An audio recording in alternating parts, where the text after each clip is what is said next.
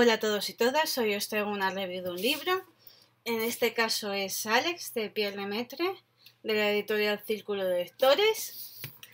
Tiene, os lo diré ahora, 333 páginas. Y bueno, voy a leeros la sinopsis, que en este caso aparece la contraportada.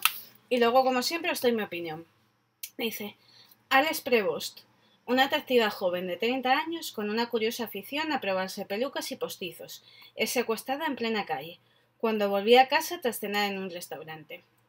Su captor, un desconocido que ronda la cincuentena, la arroja al interior de una furgoneta blanca y la conduce a un hangar abandonado, donde ha preparado para ella el escenario perfecto para someterla a tortura, para ver cómo su cuerpo se consume lentamente hasta su total extinción. La policía, con el comandante Camille Vergoeven, al frente, emprende una frenética investigación para dar con la joven. Unas pesquisas en las que actúa casi a ciegas, pero que finalmente parecen arrojar resultados. Identifican al secuestrador y hallan el lugar donde está encerrada la víctima, pero de poco les sirve.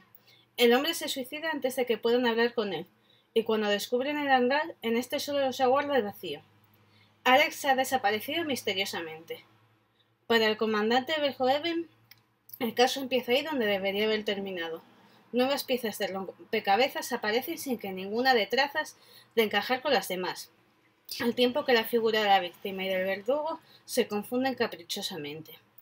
Cuanto más se acercan a él las fuerzas del orden, más parece agrandarse el enigma. ¿Quién es Alex en realidad? Bueno, a mí es un libro que me ha encantado.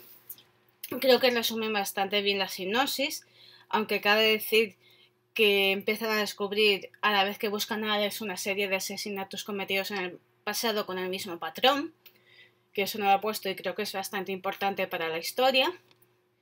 Bueno, en portada podéis ver a Alex, es como la tiene el secuestrador, metida en una caja de o jaula de madera.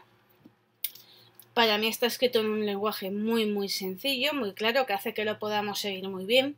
El personaje de Alex está muy bien desarrollado, entendemos por qué hace lo que hace y por qué llega donde llega, aunque desde mi punto de vista el personaje del inspector Camille eh, debería estar un poquito más desarrollado. Nos falta entender un poquito más de su personaje para lograr identificarnos con él. Pero por lo demás es un libro que engancha hasta el final, que quieres saber qué pasa exactamente con Alex y cómo se desarrollará al final y con la familia de Alex. Y bueno, totalmente recomendable. Y hasta aquí el vídeo, como siempre espero que os haya gustado le des a me gusta, os suscribáis a mi canal y lo compartáis en todas vuestras redes sociales y muchísimas gracias por estar ahí.